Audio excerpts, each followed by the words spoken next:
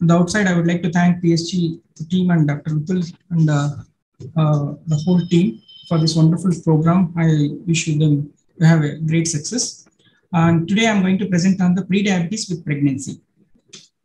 So the pre-diabetes is not uh, different than any other diabetes because it have a uh, similar outcome. So the pre-diabetes with pregnancy, when we look into it, the women identified with this in early pregnancy have been reported to have an increased risk of adverse pregnancy outcome compared with the women with lower HbA1c level at the booking. So the major congenital malformation remains the leading cause of mortality and serious morbidity in infants of mothers with a type 1 and type 2.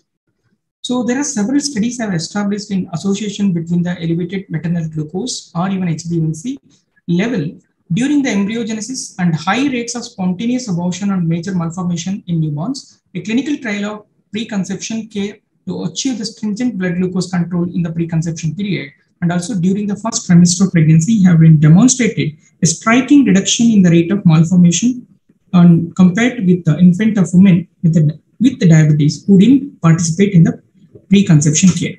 So in that way, the ADA 2020 has uh, defined the elements of preconception care program. The patient education is about interaction of diabetes, pregnancy and family planning, education in diabetes, self-management skill, and physician-directed medical care and lab testing, counseling by mental health professionals when indicated to reduce the stress and improve the adherence to the uh, diabetes treatment plan. These are the four elements are important for the patient to achieve the level of a sustained glycemic control, which is necessary to prevent the excess of congenital malformation and also spontaneous abortion. With this background, I would like to present one of my case. The, the uh, is a she is 20 year old female presented with a pre-diabetes with a history of PCOS and also obese. She visited our center uh, uh, when uh, she came to us, her BMI was 31.2 obese category and as they were planning for the pregnancy. We have taken proper diabetes and family history. Very unfortunate, she had two uh, abortions in the last six months. She was under stress and the known, uh, there was no cause for the abortion. Uh, but only thing because she has PCOS and also pre-diabetes, they uh, brought to us. And on physical examination, looks obese. The signs of insulin resistance like insulin tax uh, and also acanthosis nigricans were present. Her BP was normal. There's no orthostatic changes. A dilated retinal examination by the ophthalmologist revealed no diabetic retinopathy. A cardiovascular screening was done, which was normal. Neurological examination has shown no signs of autonomic neuropathy. And lab evaluated the pre-diabetes status. Like PS was 110, postprandial 180 milligram per deciliter, A1C was 6.3. Renal profile was normal. Thyroid screening done, shown abnormal, no abnormality. Now, coming in that case, when they came to us with the pre-diabetes, in general, because one point in general, we need to treat them with a lifestyle and diet. The second thing, in this case, she already had two abortion and they're planning for pregnancy. So we need to consider the, both the factors and we need to treat them. In this case, actually, what we provided is the diabetes education at most important at any moment of uh, when we diagnose the diabetes or even the pre-diabetes stage. And lifestyle changes, as we know, the diet and exercise, that is the most important thing.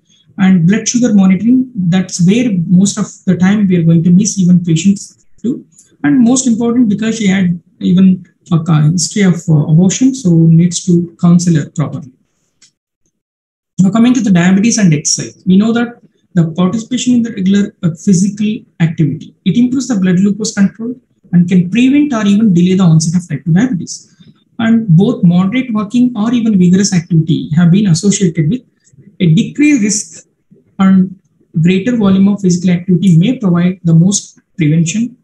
The Da Qing study in China, which well-known study, included even exercise-only treatment arm and reported that even modest in exercise, like even 20 minutes of mild to moderate, 10 minutes of strenuous exercise, or even 5 minutes of very strenuous exercise one to two times a day it reduced the diabetes risk by 46% and compared to the 42% for the diet plus exercise and even 31% diet alone. So in that way, I think exercise play an important role. And we know the other familiar like uh, studies like the Finnish diabetes prevention study and US diabetes prevention study, that program, DPP uh, program that is a well-known studies, they have shown that even pre-diabetes level or even lifestyle and even diet modification will make a marked change in their life and arrest the progression of type 2 diabetes. Now, we have given the, the proper exercise as well. And come to the diet part, emphasize advice on healthy balanced diet. Like eating is applicable to the general population when providing advice to the adult with type 2 diabetes was given to her. Encouraged to have a high fiber diet, low glycemic index source of carbs in diet, such as fruits, vegetables, whole grains, pulses, includes low fatty dairy product and oily fish, and control the intake of the food containing the saturated and trans fatty acids as we consider like any other diabetic. One of the most important factors, particularly in the pregnancy, is the weight gain. We know that the table shows the weight gain target for the pregnancy depending upon the pre-pregnancy weight range. So the weight also play important role. And in this case, this patient an obese category. As her BMI was high, uh, more than 30, so recommended weight gain was the 5 to 9. But in this case, before the pregnancy itself, we plan to reduce her weight. We advise her to reduce her weight by plan customized diet plan, regular exercise, advised by dietitian, explained about the healthy weight during the pregnancy. And with this, actually, the proper uh, preconception care. So she revived after two months with the following blood reports. Our fasting sugar was 88, postprandial 118, and HbA1c is a 5.8. Weight gain, uh, the weight loss happened by 5 kilos. Asked them to proceed further with the pregnancy as glycemic control was good with a strict monitoring of glucose level. And we referred to the obstetrician for initial assessment and she was prescribed the folic acid, folate, and essential uh, vitamin for a healthy pregnancy. And even during uh, after that, uh, the pregnancy was positive and UPT was positive.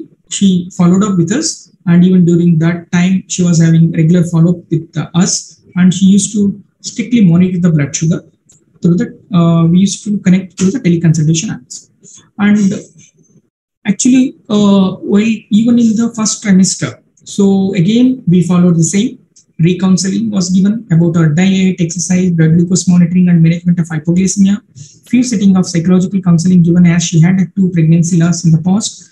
And after that, I think she completed the full term and she delivered a male baby of weight 3.5 kgs two months back and uh, asked her to strictly adhere to the diet and exercise. And we asked her to monitor the sugar for every six months. And most important, uh, I think we put her on uh, CGMS at that particular time, even before the time and during the pregnancy as well. You can see uh, she can able to maintain a good glycemic control throughout her pregnancy and we kept on changing every two to three months because you know the CGMS is not very uh, cost effective. So we asked her to monitor at least every two to three months once. So we are able to get the uh, better readings throughout the pregnancy. I think this is showing her report and you can able to see that she maintained very well throughout the pregnancy and pregnancy outcome was very good. And uh, just I just wanted to highlight this case as even in pre-diabetes is most important, especially those who are planning for pregnancy. So the as usually now the people who came with uh, such a bad history, we need to take care of them in a better way just treating any diabetes patient.